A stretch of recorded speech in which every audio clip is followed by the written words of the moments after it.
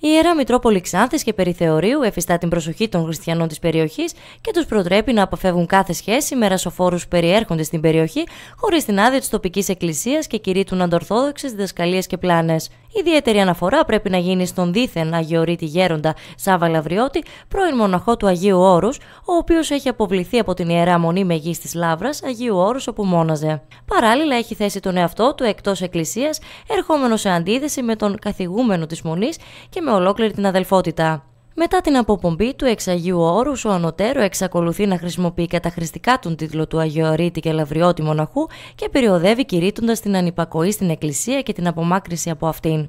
Αξίζει να σημειωθεί πως στις συναντήσεις του φαίνεται να τις διοργανώνει μια ομάδα ομογενών εκ της πρώην Σοβιετικής Ενώσεως. Επισημαίνεται πως ο εν λόγω Ρωσοφόρος δεν ανήκει στην Εκκλησία, αφού δεν μνημονεύει κανένα Ορθόδοξο επίσκοπο, καθώς η δράση του στη Θράκη δεν είναι μόνο εκκλησιαστικά αλλά και εθνικά επικίνδυνη. Όσοι τον ακολουθούν θέτουν τον εαυτό τους εκτός Εκκλησίας, αναφέρει κλείνοντας την ενημέρωσή της η Μητρόπολη της Ξάνθης.